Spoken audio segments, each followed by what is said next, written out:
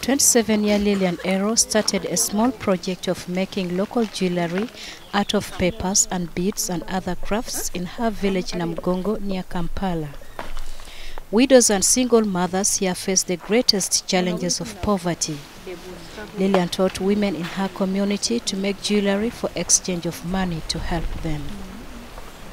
I started up with a capital of 10,000 shillings by buying the materials, that is the papers and cutting them, and then uh, the strings that we use for making the whole bead, the locks and all that. So I, f- I gave it to the women, and the women started making them.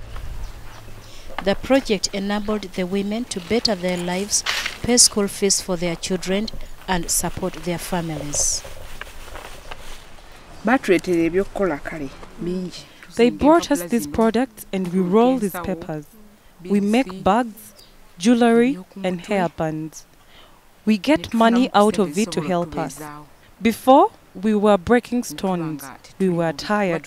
It was tiresome. They hurt. But now we are making this and we rest from stone breaking.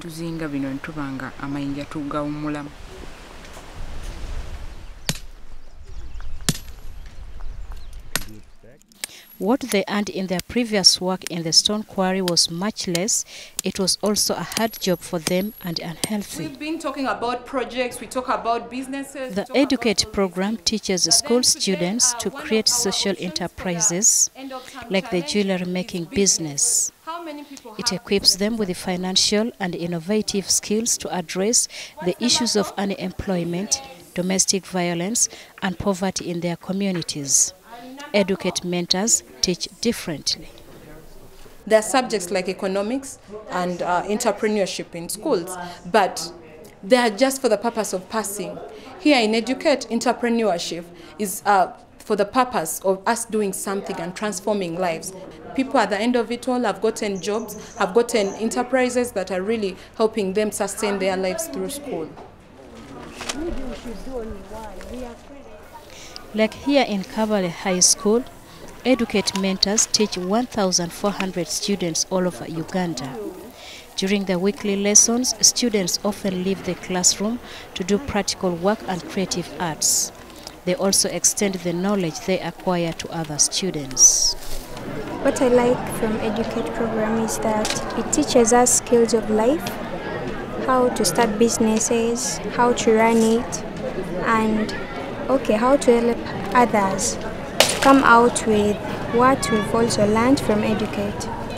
Trying to um, The current education leaves the youth unprepared to create and lead solutions. 83% of young people in Uganda are unemployed. Educate empowers youth to create jobs. The program's founders ensure the course's success with mentors on the ground. The first objective of Educate is to see to it that every youth at least has a passion for their community. Youth that mind about their communities, are that are ready to address Uganda's most pressing problems.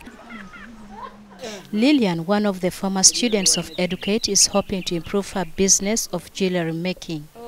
Her future plans are to include activities such as tailoring and cookery to improve the living conditions of the people in her community.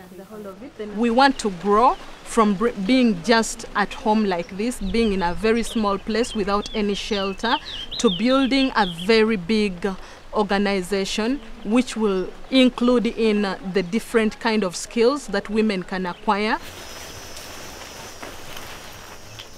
To help more people like these women from Uganda, Educate hopes to launch its program in schools all over Africa.